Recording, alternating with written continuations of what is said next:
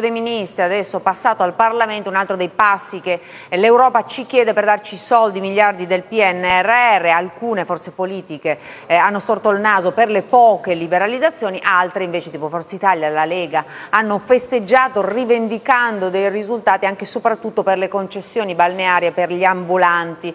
Eh, ci hanno raggiunto per parlarne, buongiorno. Rosario Trefiletti, Presidente del Centro Consumatori Italia, però io voglio farvi vedere eh, dei dati che secondo me sono più significativi significativi di molte eh, spiegazioni. Partiamo dalle concessioni balneari, eh, quanto costano nel nostro paese. Due concessioni demaniali marittime su tre pagano meno di 2.500 euro l'anno, quindi si paga poco con le concessioni, in compenso si guadagna moltissimo con gli stabilimenti balneari. Eh, guardate il rapporto tra eh, canoni eh, pagati, 115 milioni, e il giro d'affari da 15 miliardi per gli stabilimenti balneari balneari, anche perché in Italia abbiamo anche, senza fare i nomi, però stabilimenti balneari VIP che costano un giorno in spiaggia uno stipendio, lo possiamo vedere da 1000 euro a 410 euro a 400 euro. Allora non c'è moralismo in tutto questo, cioè se uno ma può spendere ma... 1000 euro per andare un giorno in spiaggia, lo si li spendesse. Il problema è, è giusto che di fronte a canoni così bassi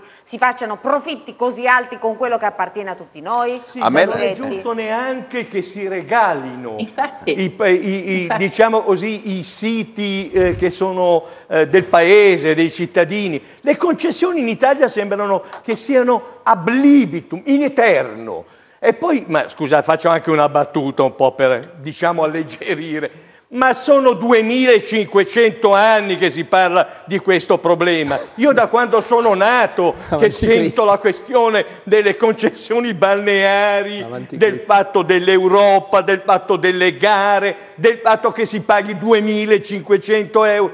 E poi però si aggiunga anche che in Italia le concessioni balneari e le tariffe sono le più elevate a livello mondiale, non a livello europeo, perché la, eh, la, la, la, cosiddetta costa azzurra, uno parla costa azzurra, oddio, chissà quanto costa, no, costa, costa meno di meno che... delle... Ah, allora, io capisco però altre cose, diciamo così, in relazione agli stabilimenti balneari, loro hanno fatto degli investimenti e de- bisogna riconoscere. Ma allora nelle gare, quello che si deve chiedere mm. da parte di imprenditori, che le gare siano eque, che siano giuste, dove c'è il pagamento giusto dell'affitto, ma nello stesso tempo, se io ho fatto degli investimenti, ci sia rifondere quegli investimenti in termini adeguati. Queste sono le cose giuste da dire, non arroccarsi e poi chiudo? Sì. Ma non ci sono più spiagge libere, santa pazienza. Eh no, ne usciranno delle belle con la mappatura, anche, anche se c'è già la mappatura. No.